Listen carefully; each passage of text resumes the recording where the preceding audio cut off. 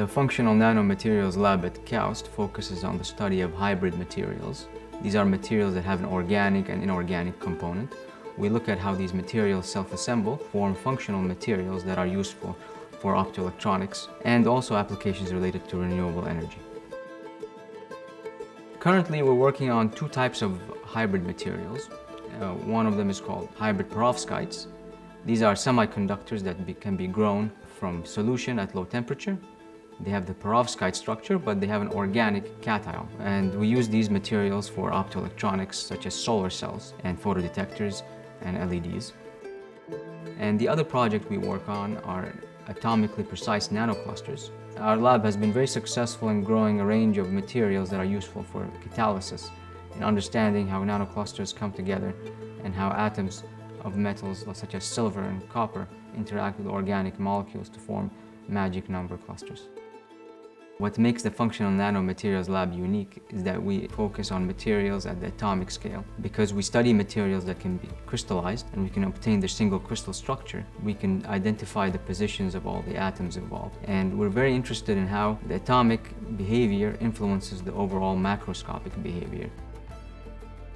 KAUST is unique in, in that it has a wide range of core facilities. These are facilities that can be shared by many faculty. They have a really advanced electron microscopy facility that allows us to image materials at the atomic scale and understand the composition and, and structure. But also, several of our colleagues developed unique facilities to study materials, such as the 4D electron microscope. The aim of building uh, ultra-fast laser spectroscopy and ultra-fast electron microscopy here at KAUST is to track the most fundamental photophysical processes and photoactive materials commonly used in uh, solar cell light emitting diode and photo uh, detectors. Using ultra-fast electron microscopy, especially in the scanning mode that is very sensitive to the surface and the interface dynamics, we can access to a lot of photophysical processes even at atomic level of the material surfaces uh, that cannot be obtained by any other spectroscopic or even electron microscopy techniques. And here at KAUST, in fact, we have the second generation of 4D electron microscopy in scanning mode. So the first generation we built at Caltech in the US, and here at KAUST we built the second generation with the basic capabilities so far. We are interacting with more than 15 different faculty here at KAUST in chemistry, material science, electrical engineering. Internationally, we have also a lot of uh, collaboration in the US, in UK, and Canada. So in fact, this kind of uh, unique capabilities are needed for a lot of research. The material science and engineering uh, program at KAUST has three major thrusts. The main one is in renewable energy. Uh, the second one is, is in electronics and photonics. And the third one focuses on material design and synthesis. This includes a computational material science component and a synthetic component. My group is generally interested in developing nanomaterials for energy storage and electronic applications. Essentially, we're interested in understanding the charge storage mechanisms in materials and using that understanding to develop practical devices in energy storage.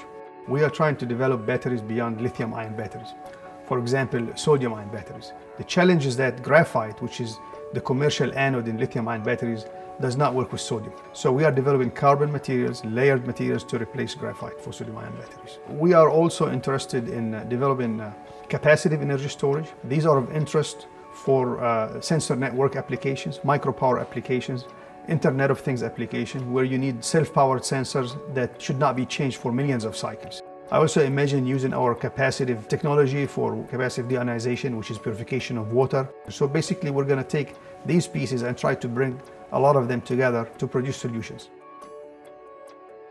In photonics labs, we make semiconductor laser or light emitting devices that can find good applications in uh, lighting, energy efficient lighting for example, sensor material for energy harvesting such as water splitting or the hydrogen generations. And at the same time, we also use those light sources for very fast speed optical communications both in free space and underwater.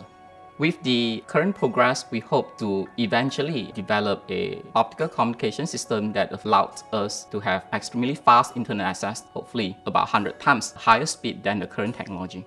We also used the device to make sensor devices, for example, sensor that can apply to biomedical imaging. And we also used those structures and device to harvest energy from water to get hydrogen out of water. And we really hope that be able to increase the solid hydrogen uh, generations method by using the material that we developed.